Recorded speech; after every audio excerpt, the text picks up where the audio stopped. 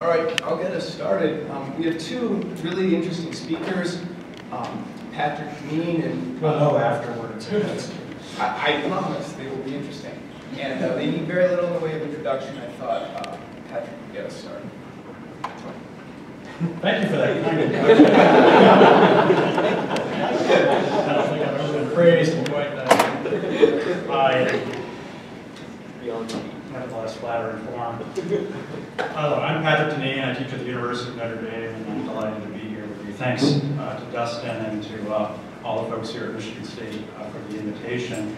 I should mention that it's a particular um, delight uh, to take part in the LeFrak Forum. Um, I know it from uh, for many decades uh, because my teacher and mentor, Carey McWilliams, was a frequent guest at this uh, this forum. Uh, spoke pretty often, I think maybe half dozen to ten times, I'm not sure how many, but from those events, uh, some of it, I, what I regard as some of his best essays, uh, appeared as a result of invitations and, and uh, uh, uh, presentations that he gave, which I had the pleasure of collecting as part of Nachlass, as part of a collection of essays that his daughter and I pulled together many years later in a book titled Redeeming Democracy in America. So many of those essays were presented here at the LeFrak Forum.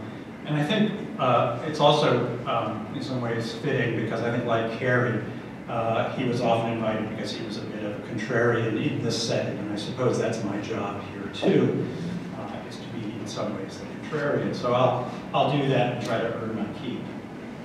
So this panel is, is entitled Liberalism as a parentheses, worthwhile way of life. LeFrak is going postmodern, we're putting things in parentheses. And so let me present uh, perhaps what is uh, one side of an argument, and perhaps we'll have uh, we'll another side. It strikes me that at least if one follows, uh, if not social media, then media in general, that very few people today seem to be inordinately happy with our way of life. In general, I think there's agreement that no matter its source, we're experiencing widespread political and social discontent, extraordinary and deep levels of political dividedness, talk in various corners of an existing Cold War and the possibility or prospects of a, I'm sorry, not a Cold War, a Cold Civil War, and the prospects and possibilities of a hot Civil War erupting and what its consequences and likely outcome would be. One encounters not infrequent comparisons of the United States to the later stages of the Roman Empire, comparing it uh, as then as now to a time and a period of decay from a former glory, the extension and expansion of corruption, uh, and decline of a once great world-straddling power to one that is uh, increasingly sort of nostalgic uh, for the days of glory. Indeed, nostalgia seems to be present on all sides of the political spectrum, nostalgia for a better time. Uh, and I do recall a world growing up in which it seemed to have been the general belief uh, that one could expect that one's children would do better uh, than one's parents, however one might describe that. In other words, we were part of an ascending civilization. Now, that's so much for what we might agree on, and, and I'm sure there'll be disagreement even without about that characterization. But if that, if we agree, if there's some agreement about um, the discontent side of this conference, of course, explanations for our discontents differ rather radically, depending um, considerably, if not entirely, on one's political perspective. On the left today, one is more likely than not to encounter arguments that the primary causes of our discontents lie in the economic realm, growing and extending and deepening forms of economic inequality, an inadequate social safety net in light of that inequality, festering inequalities due to our seemingly unsolvable racial divisions, and indeed the expansion of the sense of systemic inequality or belief in systemic inequality that is believed to have in its systemic net nearly every group and identity that can claim justly or unjustly the status of an oppressed group. On the right, long-standing concerns about the decay of morals and of virtues seem only to have deepened and accelerated. There seems to be no lack of evidence of an ongoing coarsening of our culture, the decay and decline of the primary institutions most responsible for moral formation, particularly the family, the role of community, associations, religious institutions, even the nation. Progressivism appears to be ascendant in the nation's elite institutions, increasingly intolerant of opposing or alternate viewpoints, whether in the academy, on technology platforms, who, would have thought that Elon Musk would become the hero of conservatism, in, in media, and now even in the last day or two, setting up governmental agencies that appear to be charged with censoring and blocking challenges uh, to the dominant ideology. Those elite institutions today advance a story of our nation as one of pervasive and almost total, in, total injustice, thus depriving this generation and any future generation of any grounds for pride or even investment in this American project. And the very existence of the nation as a political union, uh, political unit is challenged in these same circles, increasingly to replace by that newly revived phrase, a new world order. A globalized elite class seeks a cosmopolitan global order that effectively would erase or altogether eliminate borders and national identities in the name of universal equality as well as the liberty itself. These two sides, of course, form deeply hostile camps, charging each other not only with being wrong, misguided, but outright malevolence and evil intent. No longer fellow citizens with reasonable disagreements. I remember that phrase being big in graduate school. Reasonable people can disagree. How quaint and charming those times were. But rather regarded as enemies living within. Just in the past few days, the charges of treason being leveled on the floor of Congress to other congresspersons, insurrection, perfidy, and even what one can't help but hear charges of heresy are thick in the air. According to the main currents within liberalism, both left and right liberals, our discontents are due not to liberalism properly understood, but our failure to achieve liberalism in its truest and its best form. That failure is due not to liberalism itself, but mainly to the opponents on the other side who are blocking the realization of a true liberalism. By the telling of conservatives, or we might call them classical liberals in the main, the achievement of genuine liberalism has been thwarted especially by progressivism. And I've spent enough time in Straussian circles, some of them at Michigan State, to know very well the long-standing accusation uh, that a good founding, a founding that was based on solid principles, was corrupted by the foreign virus of progressivism, like a German import, like a BMW, but a bad one, corrupting what was otherwise a virtuous founding and a virtuous set of principles. These principles of our founding were sound, but in fact, if one begins to really listen hard to the arguments, they've never really been realized. While they exist in the past, they yet have to be realized at some future time. While having been articulated over 200 years ago, true liberalism lies somewhere or sometime in our future.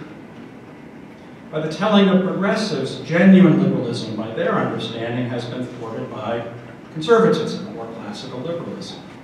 One or a set of ideas premised on a false or narrow and even cruel understanding of human nature as individualistic and dominated by thoughts of greed. The progressive vision of a just and equitable society and a world have been thwarted especially by a set of conservative interests, especially malevolent economic actors, and corporations, although one wonders how bad they'll continue to be. The Koch brothers are a regular object, Fox News, Tucker Carlson, foreign influence, collusion, and above all, Donald Trump. disinformation is the fundamental thing, an obstacle that prevents people from hearing what they would immediately agree is true. In other words, there's no contesting the truth of the progressive vision, if only its message could be heard without disinformation.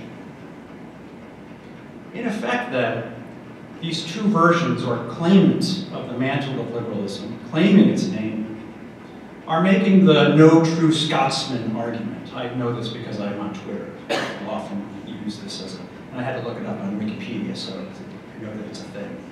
The no true Scotsman argument, that no true Scotsman would eat like this or eat this sort of thing. Our contemporary political and economic discontents or even what we might term as a, that old phrase, a legitimation crisis, is not due to liberalism, but rather because true liberalism has never been tried. And the main reason that it has been thwarted is because of an opponent who are not themselves true liberals. They are the opponents. Thus, this puts both sides in a position to understand the, oppos the opposition, the barrier to the realization of true liberalism, while denying any responsibility or complicity in what both agree are degraded, unjust, corrupt, and corrupt, and an even ruinous way of life, but both in the expectation that a true liberalism lies perhaps just around the corner, maybe in the next election. However, perhaps at this point, an explanation is needed that begins from the evidence. The evidence that is being seen from both sides, and it seems to me both sides have some merit to their arguments. From what we see around us and not the partial and even partisan explanation that arises from within the premises of the liberal frame. That is, I think we have to consider seriously the possibility that the causes of our discontents and these gathering catastrophes of our time are not due to the failures and obstacles being thrown up um, by one side or the other side of liberalism, but rather by the success of both sides, by the achievements of both sides. Both sides, in fact, are winning, not losing. Those economic discontents that are the main focus of the critique of the left, and the moral discontents that are the main focus and critique of the right, arise jointly from the fundamental commitments of liberalism from its very inception and from the development of liberalism over time. And here and in this setting, I feel somewhat comfortable and even justified in referring or describing those essential characteristics of liberalism with recourse to Leo Strauss, and in particular to his seminal essay, The Three Waves of Modernity, in which I think his analysis sheds light on the actual conditions and evidence that we see before us. Now, as Strauss tells it, and I probably don't have to tell most people in this room, but I'll just quickly summarize, Liberalism, or what he calls broadly modernity, which is inaugurated by the arguments of liberalism, which were just rehearsed in the last panel, begins foremost as an effort to overturn classical natural right, that tradition and way of thinking of the classical Greek, the Roman, and the Christian tradition. Josh Mitchell pointed to in his question, whether that classical natural right was in fact in the, in the, in the, uh, uh, the bullseye uh, especially at the beginnings of the Protestant Reformation and the liberal tradition that arguably arose from it. Now, for all of the differences of this tradition, within this tradition, the classical conception, I think, was held together by the, at least one core belief that we could identify, which is that the human order is based or was based upon a deep and indivisible connection between nature and telos. Human telos is given, not chosen, it's given as a matter of our nature. It's defined by our nature, and it's limited by our nature. And it is thus the duty and responsibility of a good political and social order, its leaders, its thinkers, its institutions, to foster, develop, and cultivate the conditions for the realization of that telos. While, of course, within this tradition, recognizing that no political order could achieve this end perfectly. Nevertheless, it was the aspiration aspirational goal. Now, for all of the differences between the two liberalisms I've been describing, its classical and its progressive versions, the right and the left, both agree, and both are heirs and inheritors of the project of attempting to overturn and to, and to reject and hold at bay this classical conception. The latest, uh, latest moment that I read a, a version of this was uh, Peter Berkowitz's recent discussion of Adrian Vermeule's latest book, That Evil Man, who associates, who uh, Berkowitz in his essay associates this, the following. He says that the view that government is rightly invested with the awesome responsibility and expansive power to direct citizens toward the supreme good for human beings, he writes, and I quote further, is commonly associated with pre-modern political philosophy and modern dictatorship. And because these two things are largely indistinguishable, of course, we are to reject them uh, because pre-modern political philosophy and modern dictatorship are more or less consistent with each other. And of course, this line could have been written by a progressive as well. We should. Rather, what we should note, and I think Strauss is helpful, liberalism in both of its versions sought to sunder the ancient connection between telos and nature, albeit in opposite directions. What Strauss described as the first wave of modernity, the figures that were discussed earlier today in the last panel, Hobbes, Locke, the founding fathers, classical liberalism, was perhaps most fundamentally a concerted effort to sever this ancient combination by retaining the idea and belief in human nature while rejecting the idea or belief, political end and purpose in telos. Thus the centrality of the state of nature scenario, where one can elaborate and identify a universal and inexpungible human nature. But because of this nature, one has to that there is, to quote Hobbes, no summum bonum, no finis ultimus. There can't be what Aristotle or Aquinas regarded as the, as the universal and inexpungible end of human beings. It's a disconnection that takes place. Strauss then goes on to argue that the second wave of modernity which is broadly described as historicism, regarded as lying at the roots of our progressive movement and progressive tradition. The progressive tradition, or the second wave of modernity, the historicist tradition, also accepts this severing, but it reverses it. Humans have no nature. Rather, we are historical creatures. We are creatures whose nature develops and evolves in and through time. But they retain a telos, history, in some ways points us to that telos. History aims toward an end, one that we intuit or we know or we assume we know, but we can't finally know until we reach, sorry Frank, the end of history. History then, in some ways, becomes, history is, uh, history displaces nature, while telos is subsumed in the idea of progress. And while we point to thinkers, of course, and Strauss pointed to thinkers like Rousseau and Hegel and Marx, a thinker we could also point to as being not foreign, not a foreign import, would be someone like John Stuart Mill, who argues at the very beginning of his essay on utilitarianism for the need of retaining the idea of telos, that all ethics is premised in his view on telos, but rejects the idea in some fundamental way that human beings have a nature. Rather, as he argues, human beings have to live in and through history the whole point of his essay on liberty is that by overthrowing custom and tradition, history can begin. History will take place. And the way in which we achieve and we do this is through what he describes as the liberation of people to engage in experiments in living. There's a reason why this argument finds particularly fertile ground with thinkers like John Dewey and then someone who appeared here in the LeFrak Forum, Richard Rorty, that these experiments in living found and premised within the liberal order are that which advances progress. Now the creature that I would submit arises from the first wave of modernity, and this is follows Strauss, Strauss makes this actual claim, is, as Strauss calls it, homo economicus, the economic creature. The economic actor now liberated from telos, any governing or moral structure that in some ways limits or determines the ends or purposes of economics, aside from those ends and purposes defined by economics itself, acquisition, prosperity. Aristotle, of course, argues that acquisition is not in itself an ultimate good or end. In fact, it can be excessive, And like anything, there's a mean between the extremes of acquisitiveness and penury.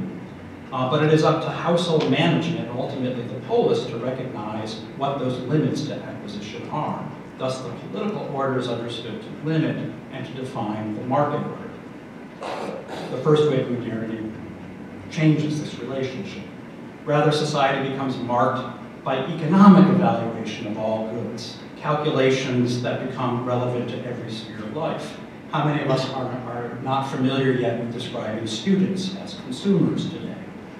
Or replacing the classical and Christian virtues with virtues such as industriousness, honesty, and toleration, according from the virtues uh, that were articulated recently by Mark Blitz as the modern virtues. The creature of the second wave of modernity is Homo experimentus. Now that's my phrase.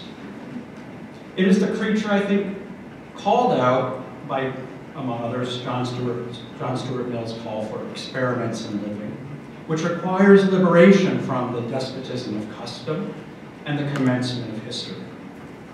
This society then is one marked by increasing liberation of the individual, of course from those formative institutions. Those are obstacles to experiments in family, community, church, even nation. But ultimately from nature itself.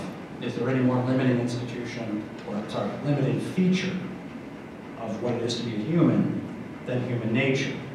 And in those areas where, in particular, our nature is most felt as a form of limitation, that's where experiments in living must be most undertaken. Experiments that of course, are undertaken in the sexual domain.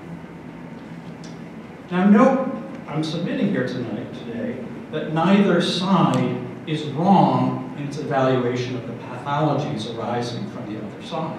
Each side would say Homo economicus or Homo experimentus is a bad way of thinking about human beings. But both arise from the severing of nature and telos.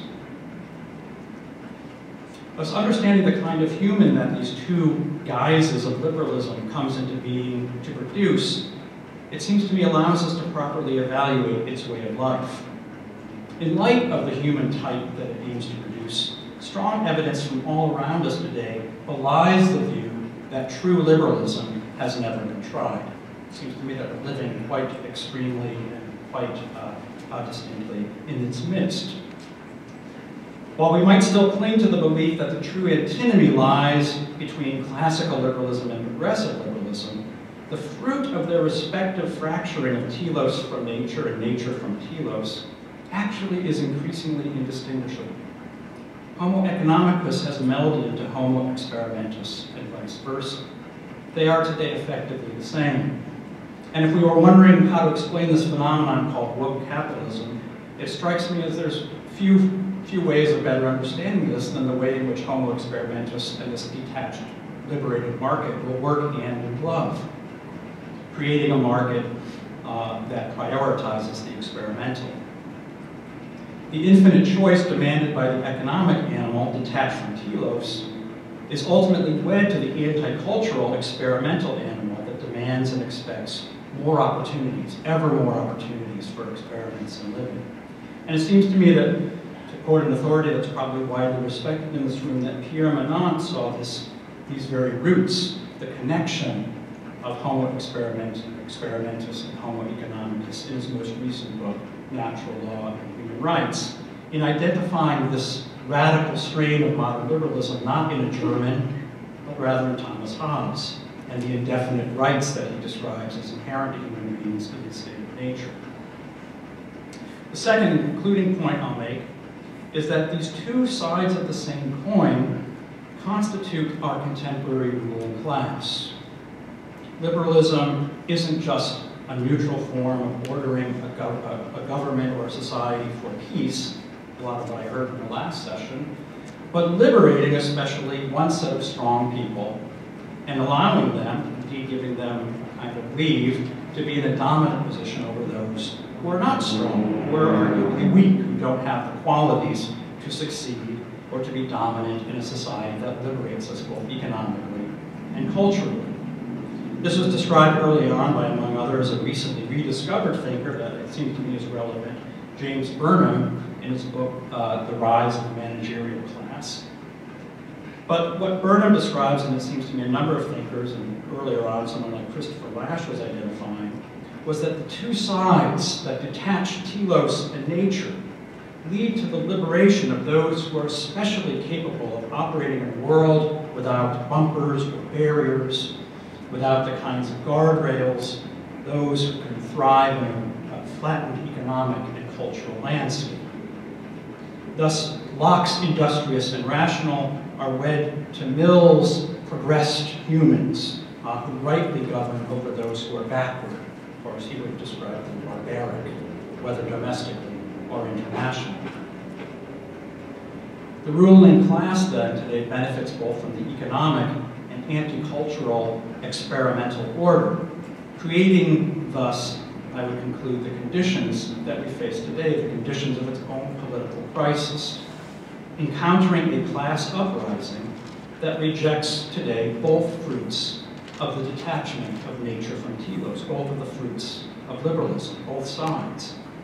This typically today goes by the name of populism, and of course it has its ugly visage, but it seems to me that it is comprehensible if we understand it to be an effort in some ways, or at least an intuition, that both sides of the liberal, liberal project have given rise to fruits on the left and the right that have offered and given extraordinary benefits in this flattened world uh, to those most capable of benefiting from those conditions, while increasingly uh, um, regarding as uh, out of bounds or no longer acceptable the claims and, and position of those who can benefit from neither side.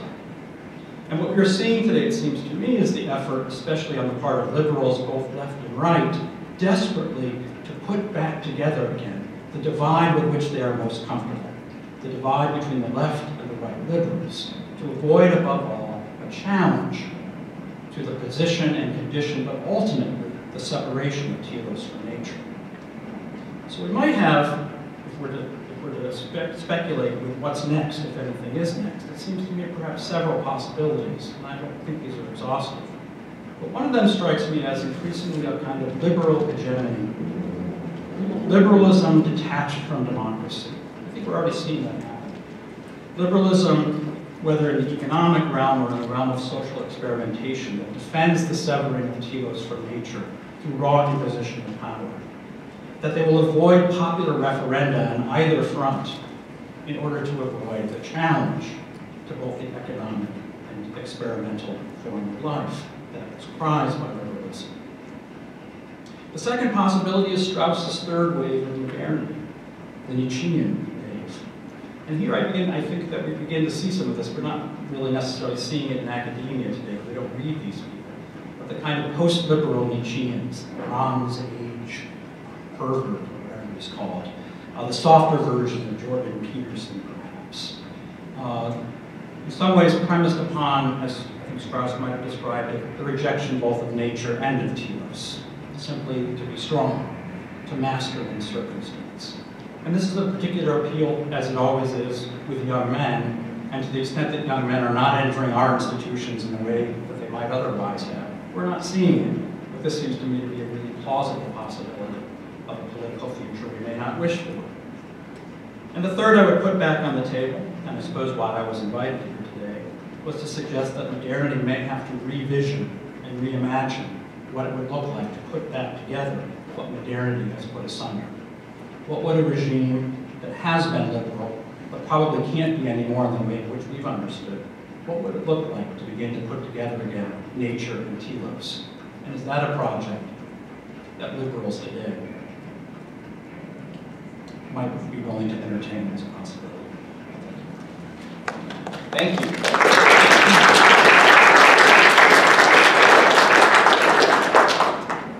Now, Frank Young.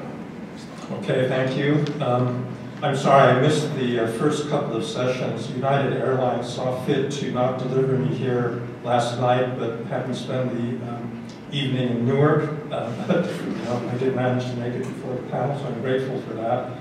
Um, I, uh, I guess I should premise this by saying that although I took courses in political theory from, among others, Harvey Mansfield sitting in the audience, and I'm very grateful for that. I've never thought of myself as a political theorist. I've spent most of my career looking at uh, international relations and in particular in the middle part of my career at the uh, development of uh, poor countries around the world. And uh, I've got a very institutional and more pragmatic understanding of uh, issues like, uh, like liberalism that may be a little bit divorced from the way that people are speaking about it here. And a lot of the disagreements actually are, are kind of definitional ones because I actually think that classical liberalism has been uh, uh, achieved in, in you know, many countries, and there are many countries today that I would uh, say um, uh, practice a, a, form of classical liberalism. Uh, and I'm not going to define it with regard to any political thinker or theorist. I'm just going to tell you what I think are the major um.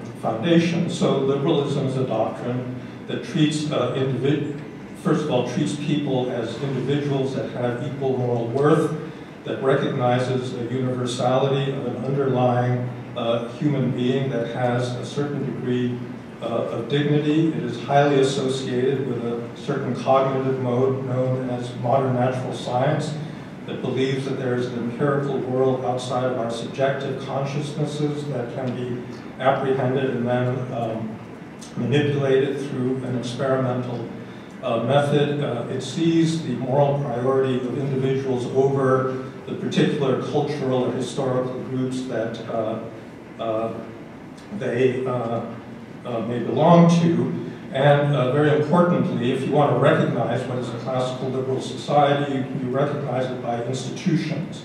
So if it has a rule of law that puts serious constraints on executive power, does not allow the powerful people in the political system to simply do whatever they want, uh, then you have the foundations of a liberal uh, rule of law. If you have constitutional checks and balances uh, that embed in a, in a political structure those constraints, uh, all the better. Uh, and ultimately, that is done in the uh, interest of protecting the individual rights. And so in that respect, I think that it's associated with quite a lot of countries today.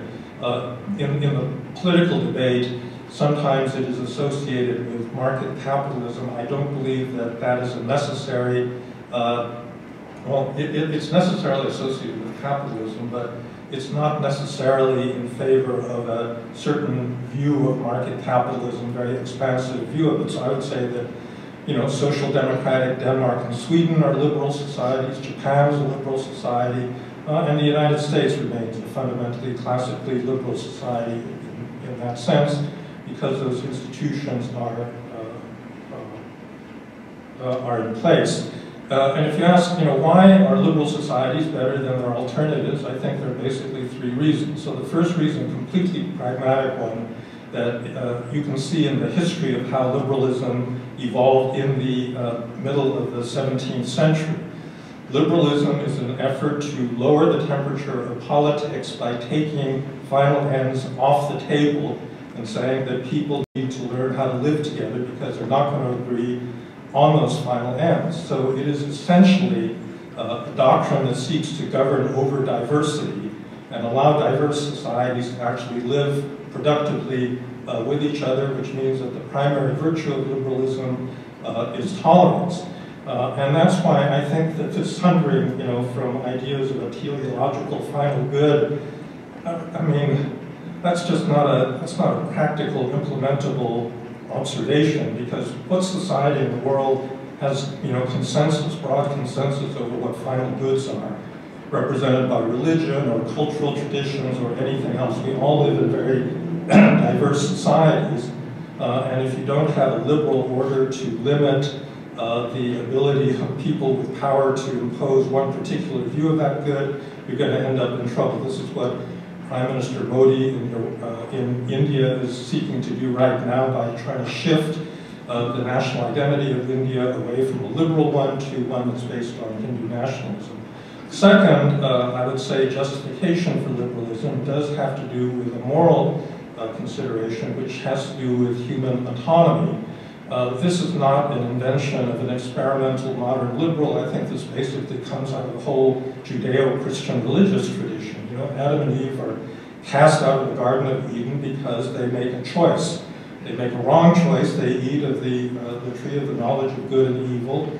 Uh, and for that reason, they are tainted with original sin. But it is that ability to choose that makes them different from the rest of created nature. It gives them a moral status that is intermediate between God and the rest of nature. Uh, and that, I think, has all along, from that beginning point, been central in Christian doctrine that people are moral agents. And if you ask, in what sense could anybody believe that human beings are under the skin all equal to each other? It is precisely in that ability uh, to choose. It's something that was represented by Martin Luther King saying, I want my children to be judged not by the color of their skin, but by the content of their characters. Because every child born in the world has that ability to make basic moral choices, and this is something that liberal societies seek to uh, preserve. Then the final one has to do with economics, uh, and in fact, uh, there is a, you know, among the uh, choices that uh, are protected in liberal societies is the right to own private property, to transact, uh, creating a, a, rule of law that protects commercial transactions.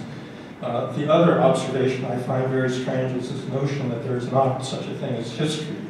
You know, you can have human nature and you can have history. They're not mutually exclusive because history doesn't evolve in, in just random ways that are simply willed by elite liberals. They uh, evolve because human, human beings are dealing with a created world that they have partly created and it's partly given to them, but it changes over time. If you don't believe, uh, I have a, if you want to see my fuller argument about this, I, I have the cover of the weekend section of the Wall Street Journal tomorrow, so you can read, read about this at much greater length. But if you don't think that history exists in this Hegelian sense, try living in Guatemala for a while, or try living in Myanmar, or in Nigeria, or some other poor, disorganized, poorly governed, corrupt country.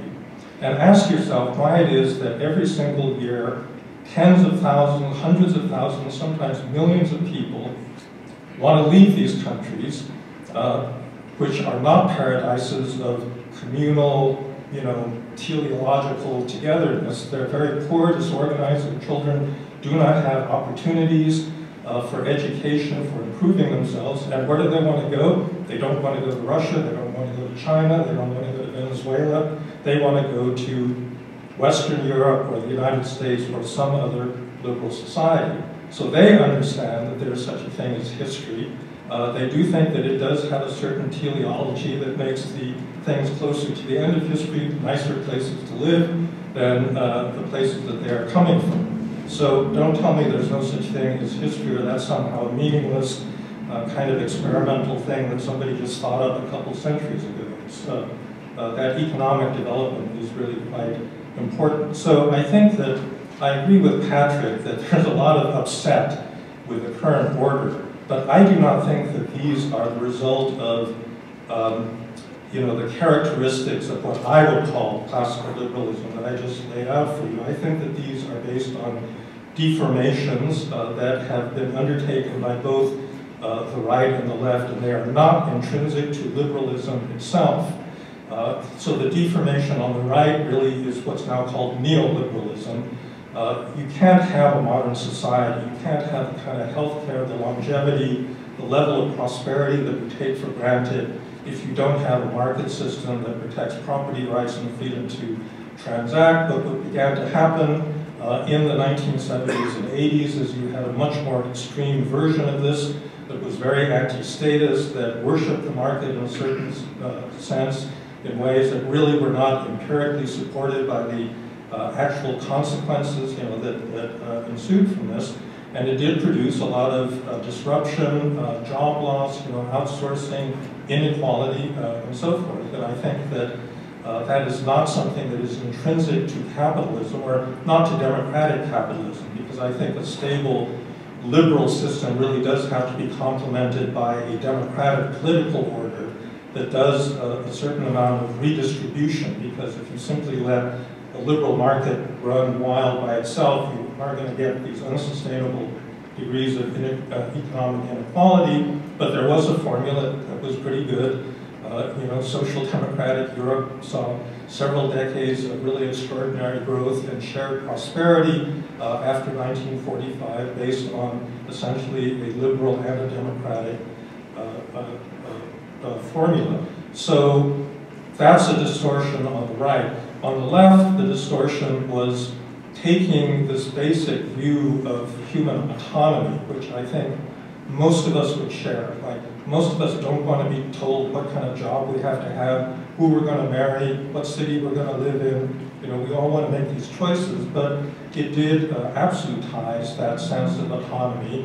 Uh, it's true that the, you know, the furthest uh, efforts to push autonomy were in the, uh, in the realm of family and sexuality uh, and that sort of thing. And so a lot of the upset, you know, with, with that particular extension of autonomy uh, have to do with, you know, a particular subset uh, uh, view. And I think the problem is not that this is the inevitable evolution of liberal ideas, it is a, a deformation. That is to say, if you look at what's wrong with identity politics today, and kind of the, so, you know, I described the neoliberal rights, and I'm describing what you might call the uh, woke liberalism on the left. If you say, what's the, uh, what's the problem uh, with that view, I would say there's no problem with a liberal interpretation of identity politics, because you know, that form of identity politics simply said there are a lot of marginalized groups, are African Americans and women and gays and lesbians that are not being, they're, they're promised uh, equal treatment in a liberal regime and they're not getting it. And that's basically, you know, the Martin Luther King understanding of the civil rights movement, that he wants black Americans to be treated identically, judged as individuals like every other white American. But there is a progressive view of identity politics that basically is not an extension of liberal views, it is an attack on. Uh, it's a kind of group politics that says that our group identities, including identities that are completely ascriptive, that we're born with, that we have no control over, like our race, ethnicity, gender, uh, and so forth, uh, are fundamental, they're essential to who we are, and we should not be treated as individuals, but we should be treated as um, uh, as members of those groups and that society should give preferences based on that. That is not a liberal principle. That is an attack on liberal principles. Furthermore, you know, you also get other versions of critical theory that say that somehow sexism, slavery, colonialism, uh, a lot of the injustices historically that occurred um, is true under uh, so-called liberal regimes are somehow intrinsic to the doctrine uh, of liberalism. And I think that if you look carefully at you know, the history of slavery and the anti-slavery movement, the opposition to that uh, did come from liberals, in fact, who uh, were made to realize that these institutions did not, uh, were not ultimately compatible with, uh, with their underlying belief in the universalism of human equality. So it is a deformation. Woke liberalism is a deformation and not a logical extension uh, of liberalism uh, itself.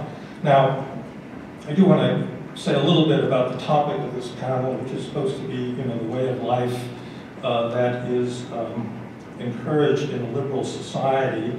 And I think that, you know, there uh, is a, there is definitely a problem there because, as I said, the premise of liberalism is you're going to lower the sights of politics, not to the good life, but to life itself and permit a lot of different ways of, of uh, acting and being. And if you want to live in a society where your happiness is somehow based on the fact that everybody else in your society agrees with you on fundamental issues and you all go to the same church and you worship the same God and so forth, yeah, you're going to be uh, unhappy about that.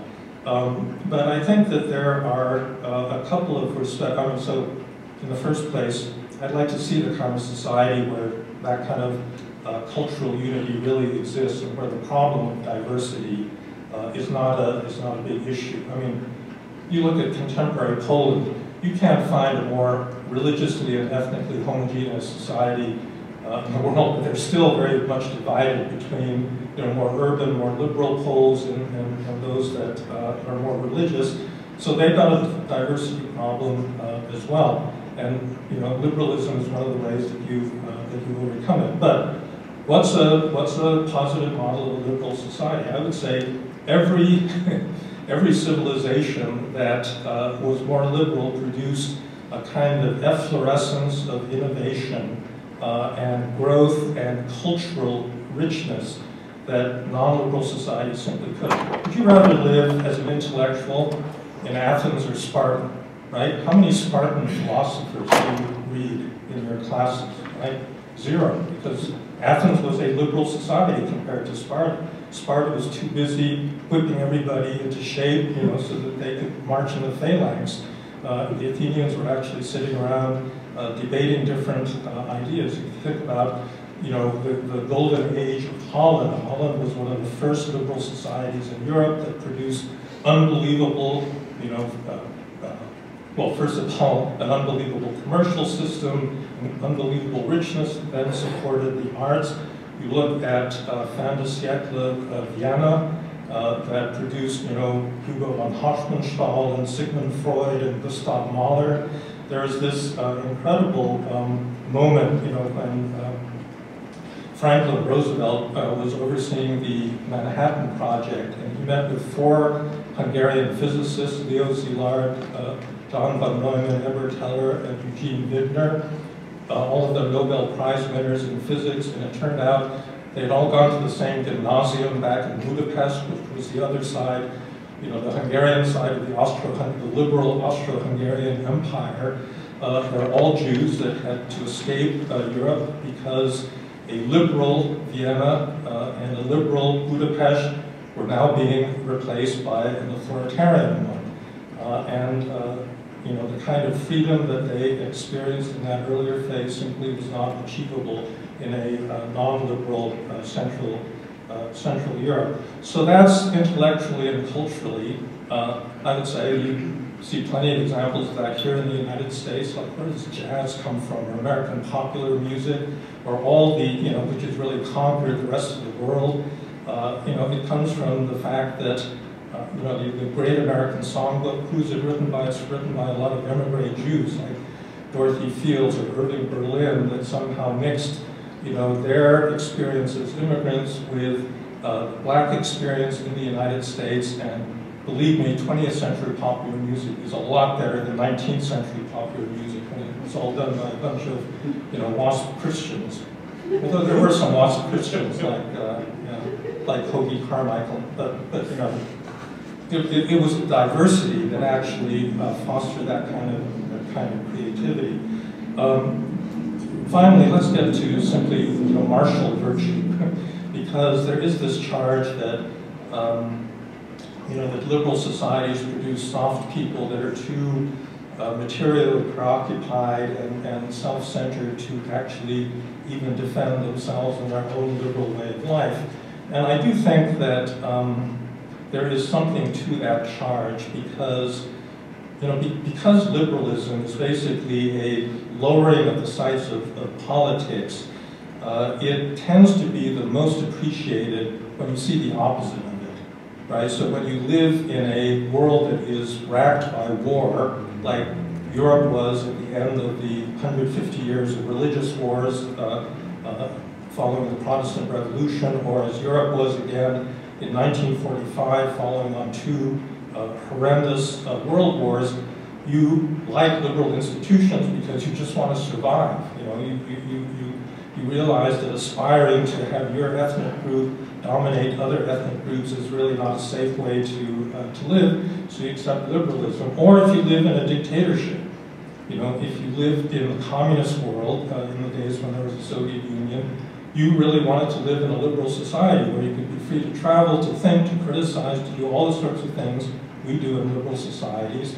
Uh, and for that reason, the first generation after the fall of communism were dedicated liberals. But I think the problem is that it's easy to take liberalism for granted, right? It's easy to just assume that our peace and prosperity are going to be there forever because if you've grown up, you know, after 1945 or after, especially in Eastern Europe, after the fall of the Berlin Wall, you say, well, the world's been pretty good and I actually think the big problem is now the European Union. That's the really evil source of dictatorship in, uh, in my life. Uh, and uh, it's sometimes helpful to be reminded that the real alternative to liberalism is something pretty terrible. And in that respect, uh, I actually think that Mr. Putin has done us a big favor because he's kind of reminded us that, well, you know, he's the one that said that liberalism is an obsolete doctrine back in 2000, uh, 2019. But in terms of just martial virtues, it's very interesting what's going on in the Ukraine war right now. A quarter million Ukrainians came back to Ukraine in order to fight the Russians. So right now, all work on the, the, the metro in Warsaw has stopped. These were all emigre Ukrainians that were you know, building the metro. They've all gone back to fight for their country. In the meantime, uh, thousands of Russians are leaving Russia because they don't want to fight in, uh, in Putin's war. And it's actually the fact that Ukraine is to, to um, Ukraine has evolved as a liberal society that they're doing this. You know, that they're not centralized. They've got a very decentralized command structure that allows uh, lower level commanders to take initiative. Uh, the Russians have a single guy at the top that is giving the orders. Uh, he seems to be pretty isolated and out of touch with reality, which is why they've ended up in such a disastrous uh, strategic situation. But the tactical situation is also not good because nobody's allowed to think for themselves and they can't take advantage of local knowledge and, and initiative and the like. And, um, you know, I think that that just indicates that liberal societies are perfectly capable of being uh, martial if they are correctly unified with uh, a national idea. Uh, so this is an issue that I've written about in, in, in, in, my forthcoming book that has the same title as this conference. But, uh, you know, liberalism actually does need a nation in order to, uh, to function. Uh, liberalism as an abstract concept is not something that people fight for. They only fight for it when it's actually embodied in an actual nation. There are a number of reasons why this is true, having to do, I think, just with the uh, sort of the, um, the social nature of human uh, consciousness. So if you think about Ukraine right now, there's this argument going on, are they actually fighting for democracy or are they fighting just for sovereignty? And they don't actually care what kind of regime they have. And I think it's sort of a meaningless question. I, I've been to Ukraine a lot in the last eight years, and I know a lot of Ukrainians, and I know there's a lot of them that actually really do believe in some version of liberalism and some version, you know, they want to be Europeans, but they're also patriotic Ukrainians that wouldn't sacrifice themselves for liberalism in another country. So the two are very closely uh, intertwined. And that's another example of the way I think that classical liberalism works. It's not a break from every previous cultural tradition. It actually needs those cultural traditions in order to, to survive. And some of the best uh, existing, real existing, you know, uh, as the Marxists used to say, some of the best real existing liberal societies are ones that do have a strong sense of national identity. But that national identity has to be a liberal one. And if it's, it degenerates into something in which there's an assumption that everybody is going to agree on a single final end defined by religion or by uh, a particular kind of non-inclusive version of national culture, then uh, it's uh, really not going to work as the basis of a truly liberal society. So with that. Thank you.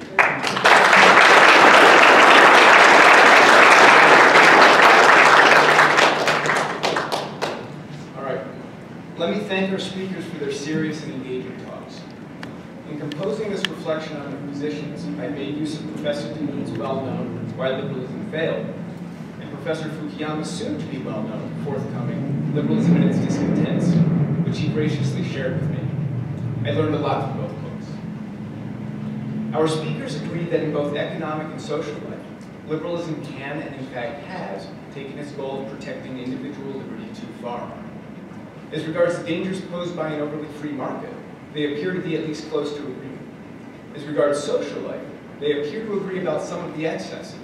But it's clear enough that they draw the line in different places and for different reasons. So I thought I'd start with some thoughts about this point of disagreement.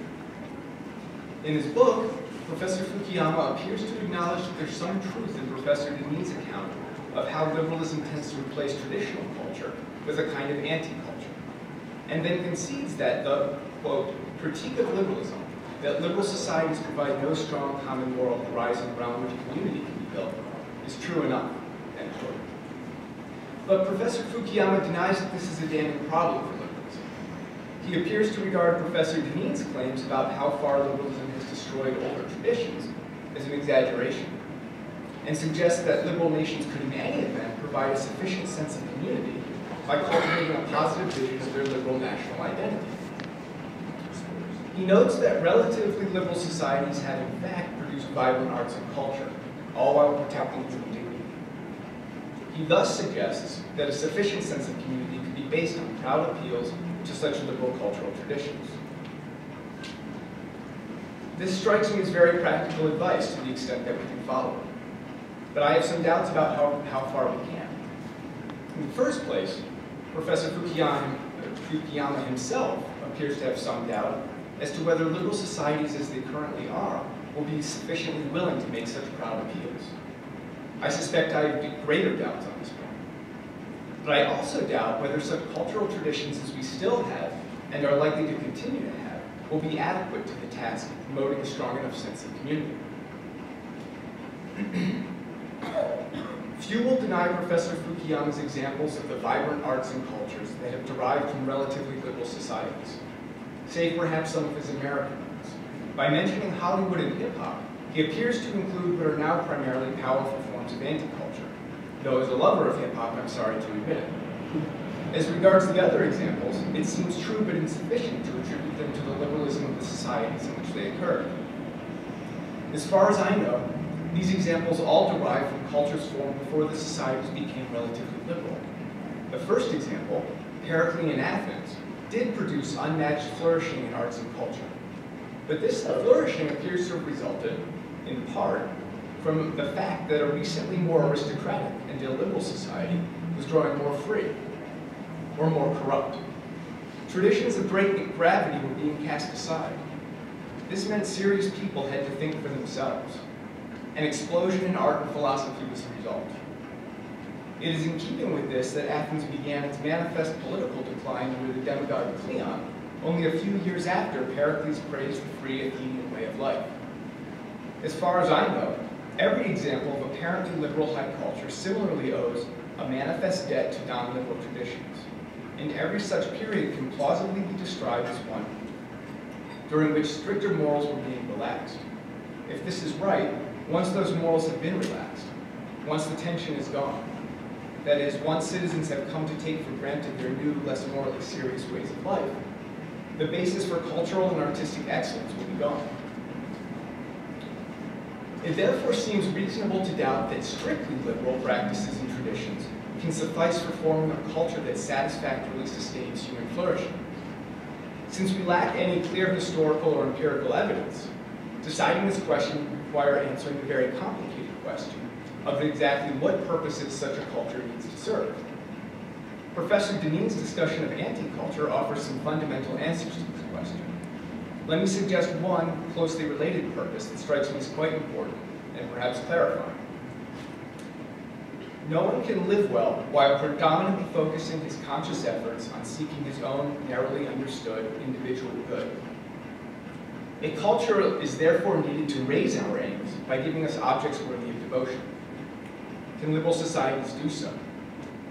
There's no doubt that they have and to some extent still can.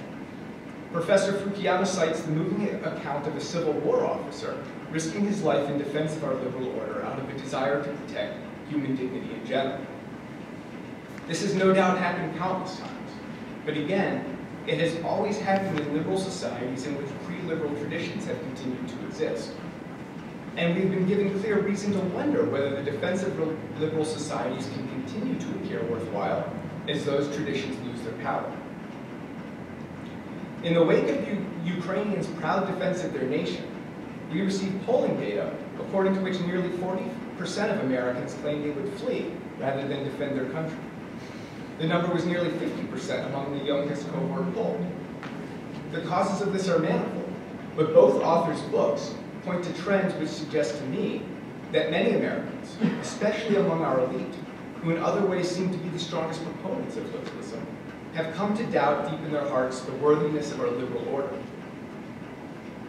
It is often the same people who strongly champion certain non, or rather anti-traditional forms of individual autonomy, who also oppose the aim of individual autonomy when it impedes what they regard as justice for certain groups.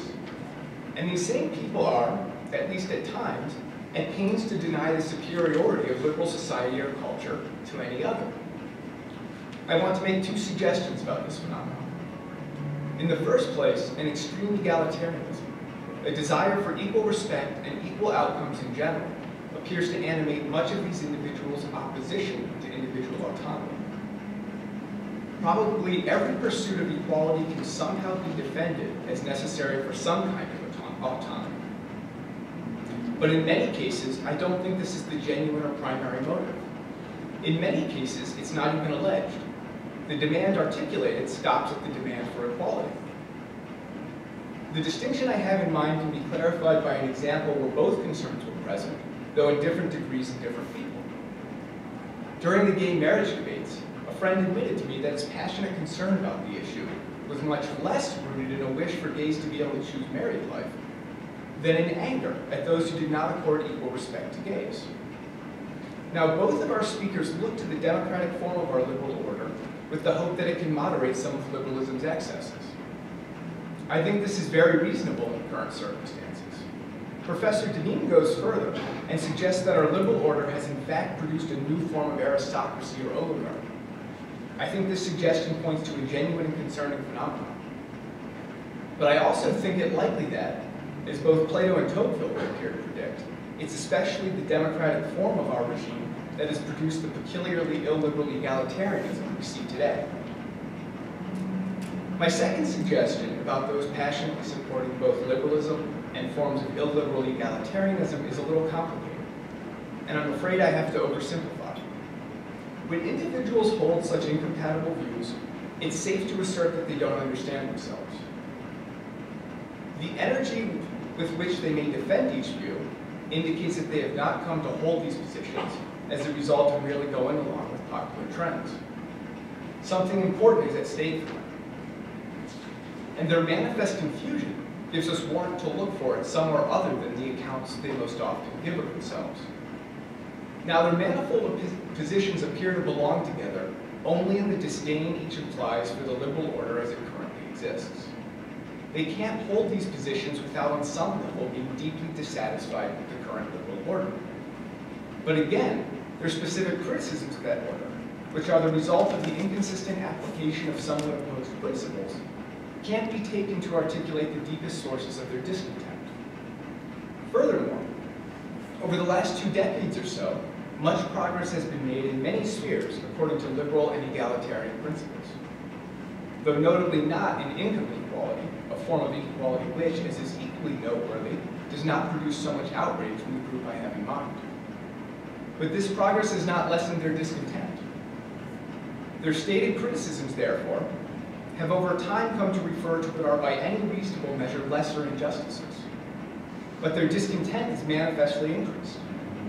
They are evidently attempting to vent a discontent with our liberal order that is not adequately rooted in the moral principles they're consistently willing to acknowledge. I therefore suggest that their deepest source of dissatisfaction is in fact the liberal way of life in general, including not least their own otherwise morally easygoing lives. Thus, they occasionally admit to finding the average American deplorable, and they clearly deplore him not only for his alleged racism and sexism, but how deeply does their way of life differ from his, aside from their support for their causes, which is for the most part merely verbal. Now, why is it that the liberal order now seems less worthy of devotion? We saw that human dignity is a worthy cause. Our speakers agree that the defense of human dignity requires some protection of individual liberty. But a genuine sense of dignity requires much more than mere liberty. It requires that we pursue goals that we respect ourselves from pursuing. And it may well be that most of us can consistently find and pursue such goals only with the help of older pre-liberal traditions. Traditions that claim to begin with the acceptance of duties not founded on consent. Left to choose our duties for ourselves, most of us mostly just follow our ever-changing preferences. To the extent that the liberal order has eradicated pre-liberal traditions, it would follow that the defense of that order would cease to be a defense of true human dignity.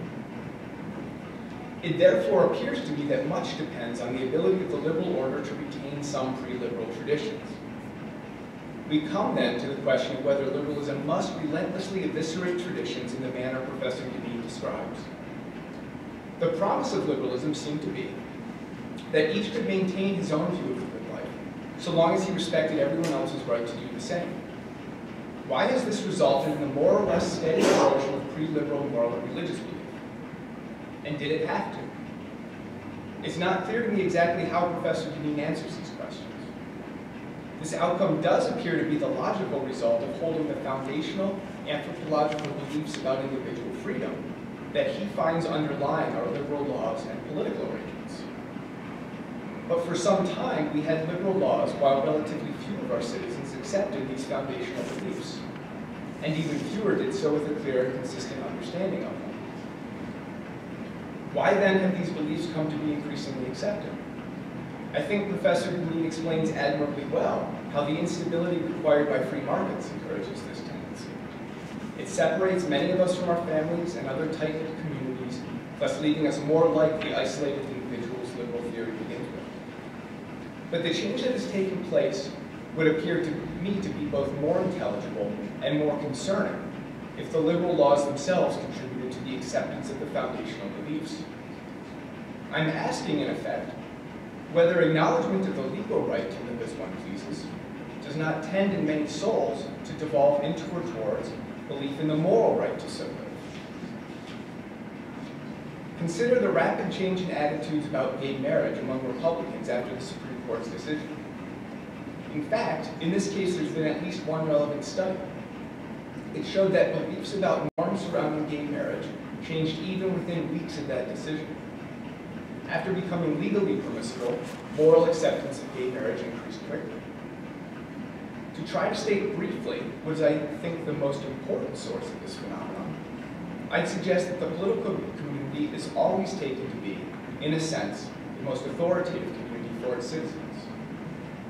It manifestly has the power to decide which other associations exist within it. In healthy political communities, citizens naturally believe their community uses its power justly. That is, it permits what it permits and forbids what it forbids in accordance with merit for the common good. These beliefs about merit and the common good then tend naturally but naively to be taken as entailing sufficient guidance toward living well or virtue. It's probably this last premise that strikes most people as the least plausible one.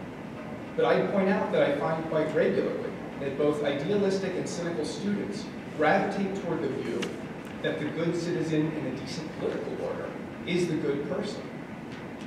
Thus, when the political community refuses to give its citizens guidance about which religion to follow, to cite what I think is the most important example of what I'm talking about, many will naturally struggle to regard religious belief as a matter of truly great importance. Professor Deneen points out that the ancients understood the laws to be teachers, and thus sought to use them to teach virtue. I'm adding, and I believe the classical philosophers understood this too, that even when the laws are not intended to teach virtue, there is a natural human tendency to take them to do so. I therefore doubt that having reached the point we reached, there's good reason to hope we can stop liberalism's tendency to deprive our communal lives of what makes life most worth living for most people. I hasten to add that as Professor Fukuyama observes, this is also a severe practical problem for opponents of liberalism.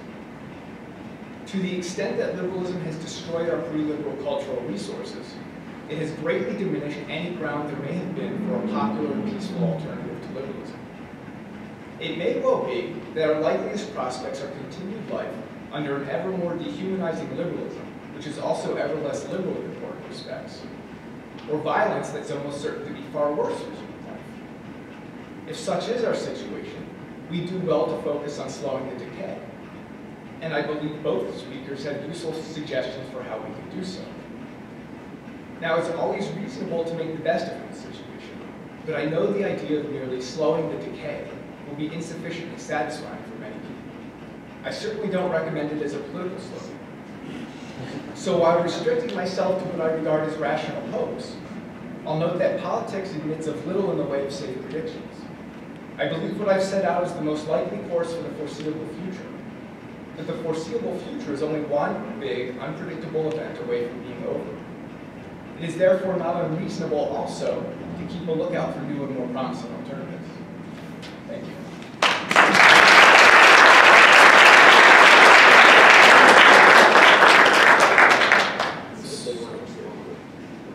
So I, I thought I'd first see if, if uh, either of you want to respond to each other I said or to Sounds time, I mean, how much time? For the fourth Yeah. No, it's fine.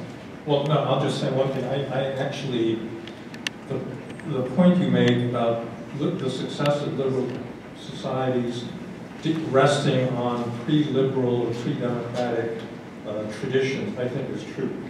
Uh, and that's particularly the case in, in terms of national identities, where, you know, the reason that liberal democracy could work in Western Europe is that you went through several centuries of violence to create relatively homogeneous, you know, nation states, and you know, they're kind of the um, beneficiaries of that non-liberal past. And, you know, I think it's a legitimate question whether in the future, if you only have a liberal order, whether you can actually create those kinds of uh, identities in the future. But that's, you know, to me, an open question, so I actually think that's a good observation. Uh, Question to both, both panelists, please. What we have here is two different theories of history, notwithstanding the attempt to look at empirical data. Uh, Mr. Fukuyama, I don't think one needs to be a Straussian to have some wonderment about uh, history. And let me just give you two quotes from Nietzsche. Um, God is dead, man killed him. Uh, it's the church and not its poison that offends us. And Nietzsche's critique of this, of, Hegel and the, and the progressive vision, uh, was that it was really, it was the outworking of Christianity that hid its Christianity. It was a long-suffering theodicy.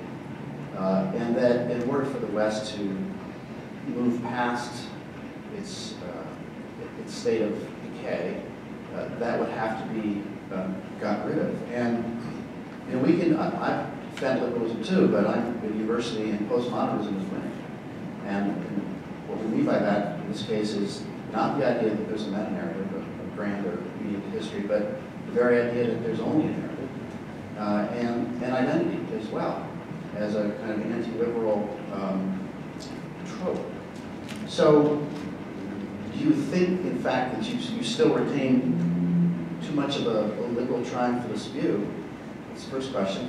The second, related to that, uh, one proof that maybe there's something really wrong with this idea of identity is not a continuation of liberalism, of liberal pluralism, but it's something quite different, is the consequence for black America with, from identity politics.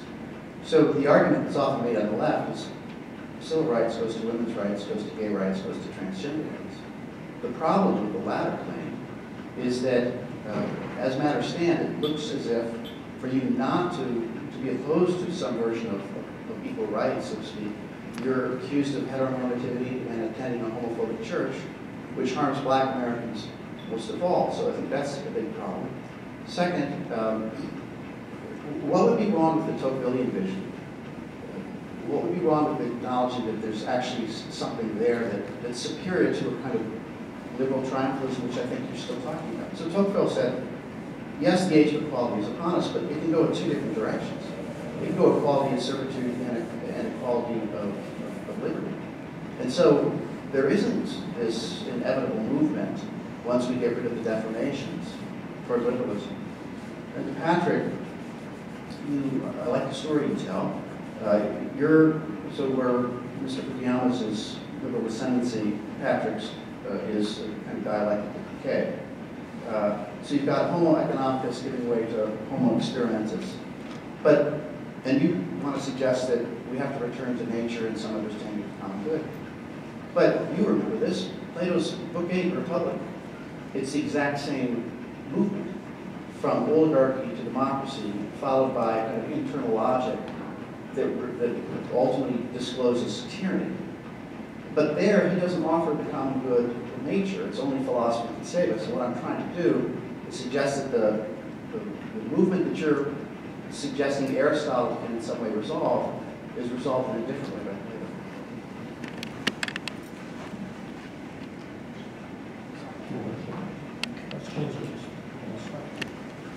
Uh, well, um, I don't know, I never thought of myself as a liberal triumphalist. I've been pretty, pretty pessimistic in recent years. Um, uh, but, you know, a lot of what you've said is premised on the fact that nobody can fight back against this particular understanding of postmodernist relativism and, uh, you know, the, the dominance that it has in universities. And I'm not convinced that that's true. Uh, because, you know, some of it, uh, I think, actually uh, is pretty evident to a lot of people. Mean, what's wrong and, and illiberal about it is pretty evident to a lot of people. Uh, the question, I suppose, for the future is, and, and I, I, guess the, you know, when I argue with my progressive friends about this, the, the argument is really actually never about whether it's a bad thing that they're intolerant progressives.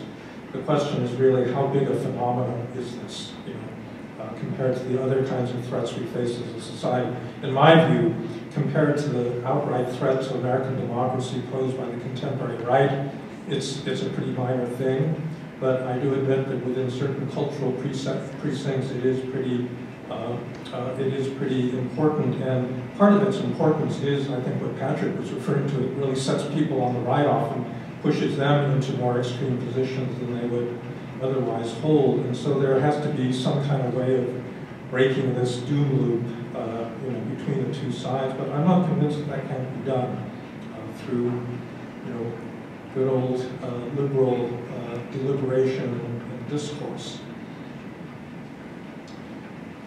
So, uh, Josh, uh, we've been having these conversations for a long time, and uh, uh, your question is the question that's on everyone's mind.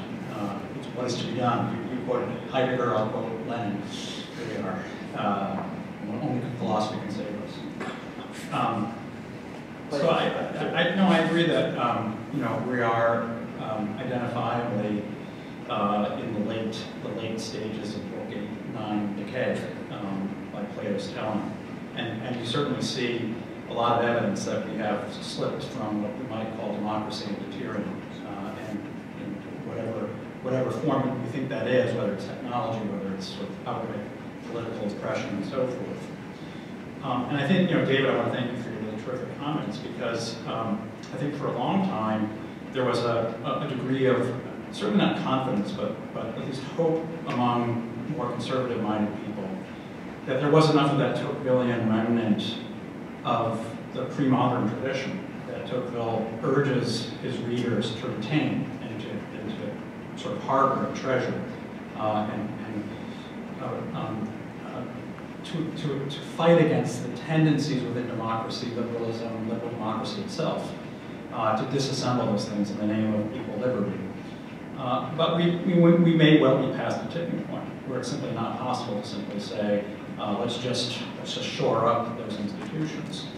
Um, so I suppose you know we, we don't know for sure, and, and history uh, is not written in this sense. So it seems to me that those of us who are in positions to do so um, ought, ought to call for a reconsideration, a reevaluation of where we are. And I would agree with um, David, that that will entail some form of thinking about how the law is and invariably and inescapably must be a teacher, and the ways in which, uh, as a political community, uh, it's not maybe simply a matter of shoring up, but, but thinking about how we um, revive, uh, in, perhaps in new and different forms, but revive those institutions essential to human flourishing. And if we're on the other side, and there is really no hope for this, then at the very least those of us in a position to do so can create a kind of documentary record uh, that can be unearthed uh, in decades or centuries as a warning for people of what not to do. Patrick, can I just ask you in what sense you think that we're suffering from, you know, this imminent spread of tyranny. I mean, has somebody come up to you in the uniform and said that you cannot write you know, the kind of books that you write, uh, that that's impermissible political discourse? I mean, it seems to me something like cancel culture is actually not tyranny in any kind of classical sense because it's mostly a matter of social pressure. You know, the state is not getting behind, uh, uh, you know, this, this sort of thing. And in any event, you know, it's, it's hard for me to imagine a freer society than the one that we live in. I mean, in terms of, you know, different ways of life. I mean, you, in your book, you say that liberalism has destroyed all existing cultural traditions, and I just don't, you know, that's not the world I'm living in. I, I'm living in a world in which there's a lot of people actually fully enjoying very deep cultural traditions. The only problem is they're different from one another. I mean, it's not a single tradition. But I don't really understand this, um, what seems to me a kind of exaggerated sense of threat that somehow political power is being put behind, you know, the cancellation of anything but liberal uh, culture. I admit in certain circles, you know, that uh, is done by private power, but, but that's not what I regard as, as classical tyranny. So uh, maybe it's uh, what you're not seeing is, and what I am seeing is maybe it's a little bit about where you know where we are, uh, Stanford versus Notre Dame. Uh, but I also think um, it's also perhaps where we are um, philosophically, theologically, and otherwise. Um, I see not only a private sphere often backed by the public sphere, that is acting in increasingly disruptive and oppressive ways. I think the laws, uh, and, to this extent, and here again I'll and agree with, uh, with David, the laws uh, increasingly teach us that uh, a kind of disposition that we might call tolerant, but which is increasingly, a generation ago we called it relativist, but today is increasingly uh, takes the form of you must be tolerant and if you are not tolerant, in other words, if you don't embody those liberal principles of toleration, you therefore don't, you no longer have standing in this society.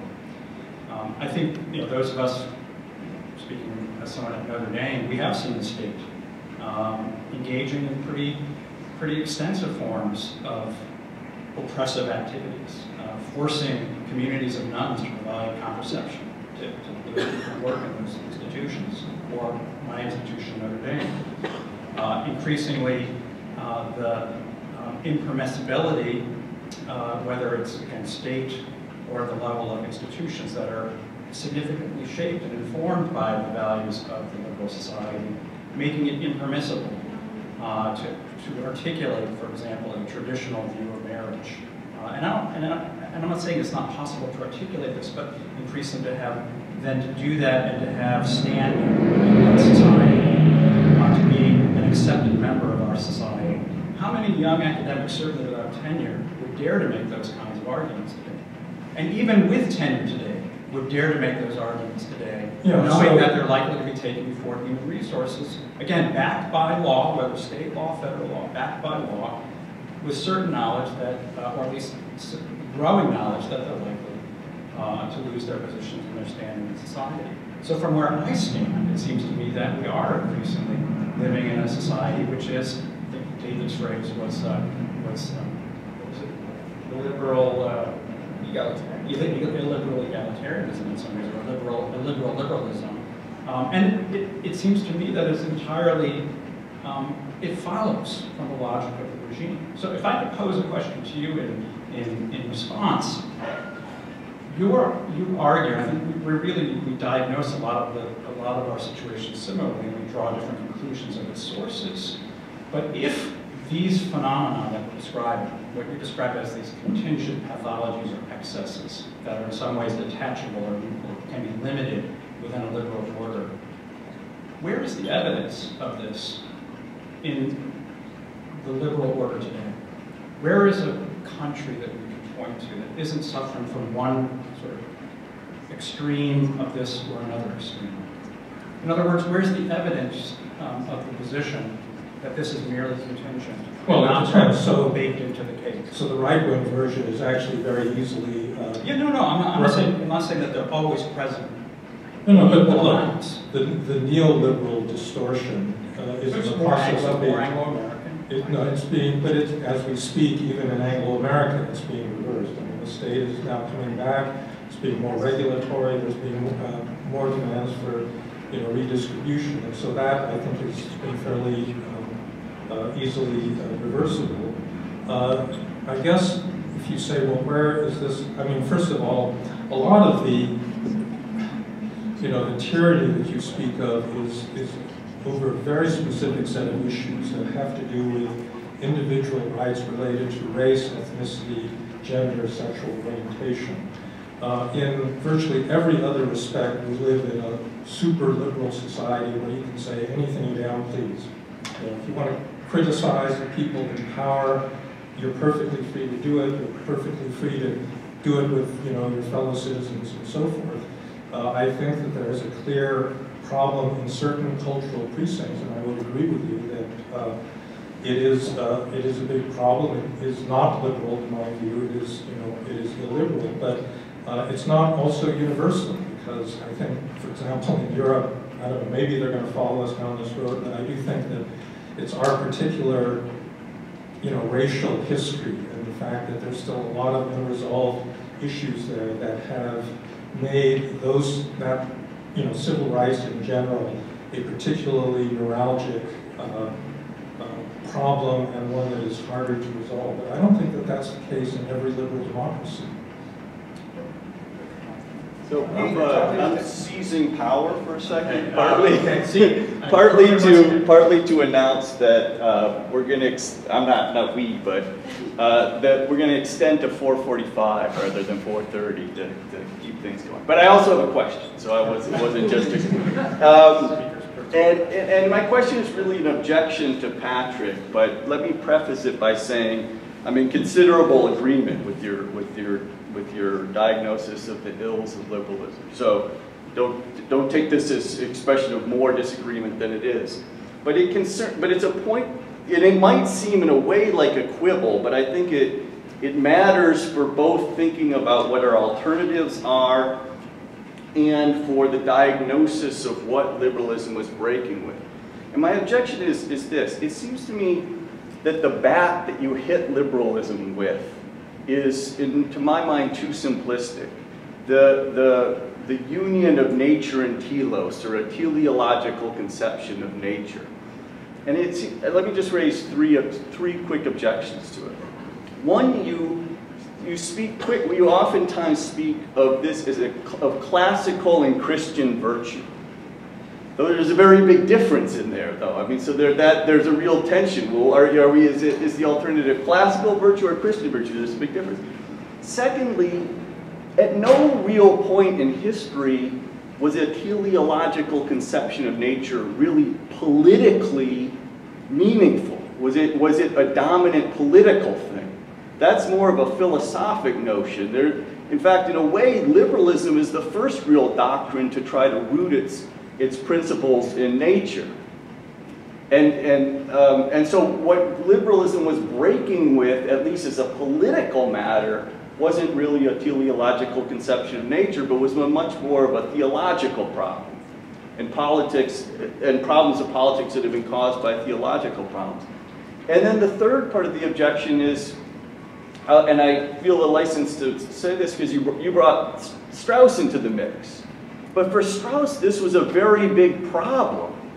He, he thought that part of the predicament we're in is that modern natural right has led to a kind of dead end in his view, but he thought a teleological conception of nature was no longer tenable. He states this in the, in the introduction of Natural Right and History as part of the crisis we face, that we can't, that we, we can't restore classical natural right in its classical form because we now see that a teleological conception of nature is no longer a tenable thing. And so it seems to me it's, it's, it's a little, I mean, it, the, the problem is, is, the predicament is deeper if we can't have a teleological conception of nature that we can readily turn to as an alternative. So I, I think I'm always careful, uh, and obviously, you I think I went over in my presentation, was supposed to be a 20-minute presentation. Uh, I'm not going to be able to tease out all of the strands of the classical tradition, Greek, differences within Greece, Rome, differences between Greece and Rome, and within Rome, Christianity, deep and, and pervasive differences within, within Christianity in relationship to those. I was merely pointing out that I think if there is something, and that Strauss thought there was something that makes these in some senses common, uh, that it, it's fundamentally reducible to this idea that we are creatures that have a nature and that we have a teleology. Now, of course, there's always been, and, and, and I think if one holds this view, there always will be a debate over exactly what that nature is and what that telos is. And it seems to me that Aristotle acknowledges this. And this is part of what the art of politics is. Is once we acknowledge that connection, the art of politics is through the best effort, using prudence, wisdom, judgment, justice, and so forth, attempting to ascertain what that connection is. So I don't think it's given or automatic. It's not just known to us like 2 plus 2 is equal, uh, equals 4. Um, so I would be, I'd be the first to acknowledge, it would be foolish not to acknowledge the difference between those things. But then your, your second question was um, uh, to suggest that teleology was never political, it was theological. This runs counter to the narrative that I heard in the last session, which is that the dark times that were overcome by liberalism was a time when there was an effort to impose some political teleology. Uh, and now maybe that was a political teleology that was theological in ways.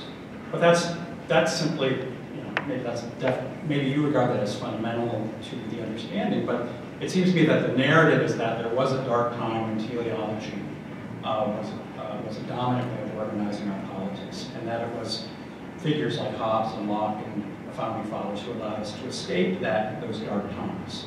Um, and the quote from Peter Berkowitz, I think, you know, suggests that this, this is very much the predominant view, that this was uh, the alternative to liberalism as a return to those dark times. Um, I, so I, so I, I, I, guess I would just challenge, can you have it both ways? In some ways, can you have it both ways to suggest that where, you know, where have we ever seen or has there ever been a society formed or shaped around the idea of teleology, given the challenges that I've acknowledged that that will always have, um, uh, but suggesting that the only form this is taken is in a kind of theological form. Um, now, one might, um, one might conclude that the fact that it's been difficult for human societies to arrive at a, at a common understanding of teleology is reason enough to abandon it. Aristotle didn't think that was reason enough. He acknowledged it's difficult. Like Rawls, I think he regarded that, that the, the fact of pluralism is a fact. The fact of diversity is a fact. That's not hard. The hard thing is developing a political society and a political order that shapes and attempts to guide us toward that which is common and towards that which we can share, and other aspects of our humanness that allow us to share certain understandings. Now, if we, if we say that that question can't be asked, we're going to bracket that question. Then we're left with the situation we're in right now. And then the question is, is the diagnosis that the pathologies we agree we're experiencing are contingent and accidental or arise out of that solution, well, you know where I stand on this question. Um, but, I, but I think simply it's the, uh, the question that, again, I didn't really get an answer, but again ask is where do we have evidence that this is contingent? Because it seems to me Europe is not a good example of where it's contingent at all. Europe, it seems to me, is an advanced stage of decay. Uh, maybe on the more progressive historicist side, but it's an advanced stage of decay, political, historical, and other ways. So I don't see evidence uh, that this is merely contingent. I see evidence that is baked into this cake. And we can, all, we can no longer congratulate ourselves as having advanced past the Dark Ages because it seems to me we're rapidly entering them ourselves. Yes. Um, yes. I've been trying to ask a question. Go on. Yes.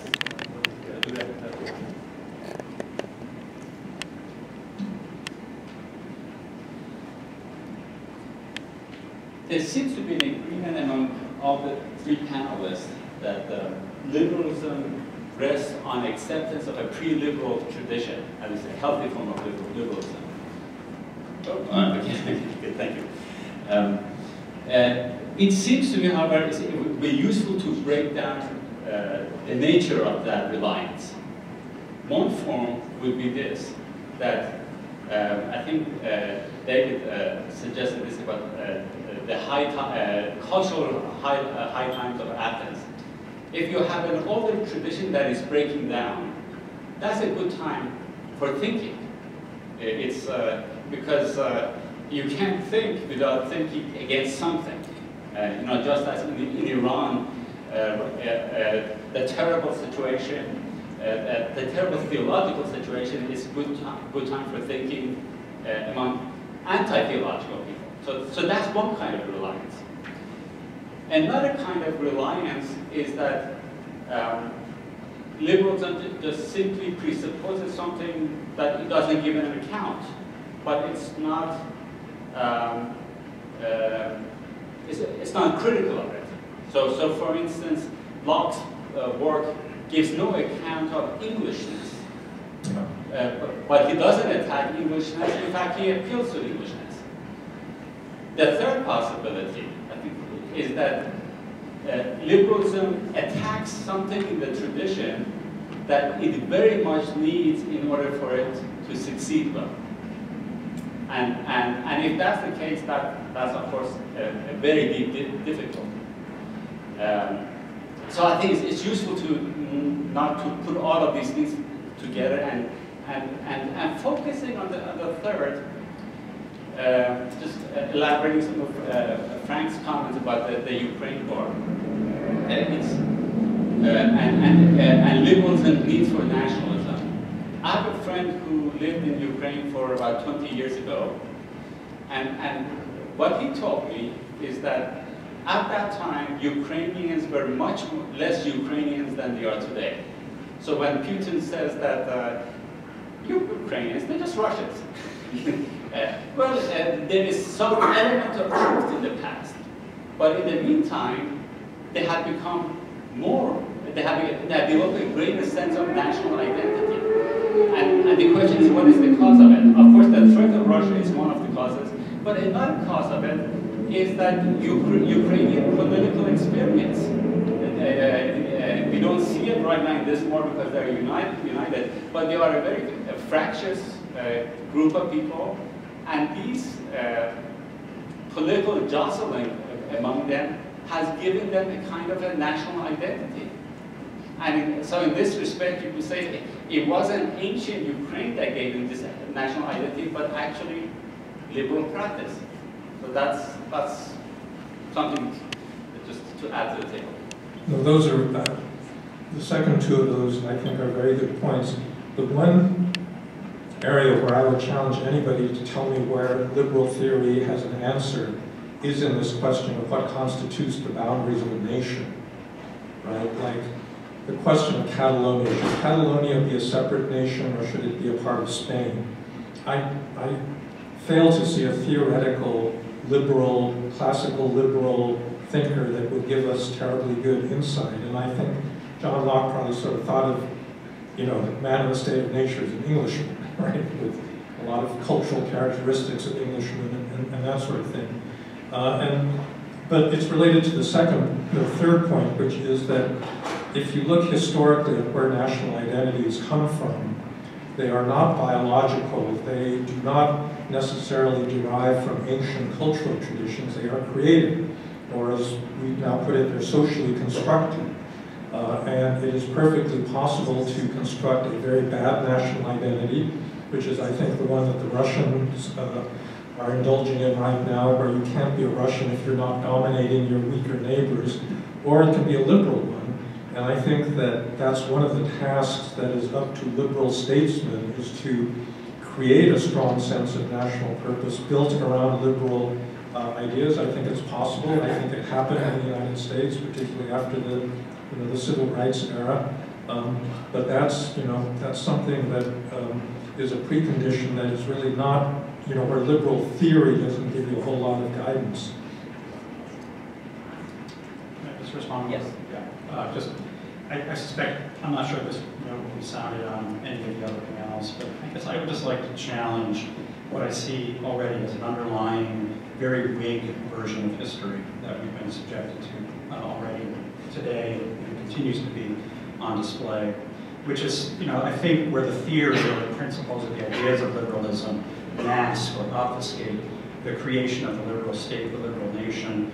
We tell ourselves story, this was one of consent. I think Americans were especially prone to view this, that, that this country was founded in consent, the free and open consent of individuals who consented to the Constitution.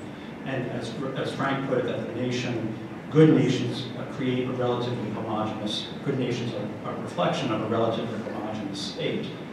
Of course, you know, history is always much more complicated than this.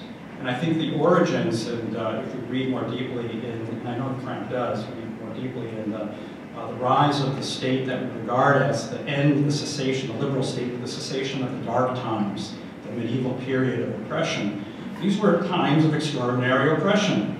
Forming and shaping a unified and homogeneous people required often extremely violent means. And we certainly know this on our own shores.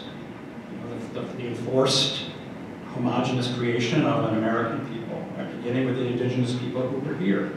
And we, of course, tend to obfuscate that because we tell ourselves a story about consent and freedom and individual liberty. So I think um, I would just sound a, a word of caution, a cautionary note, that a lot of the justifications of liberalism that typically assuage ourselves with is that there was a dark time, and we have overcome that dark time by this moment of light.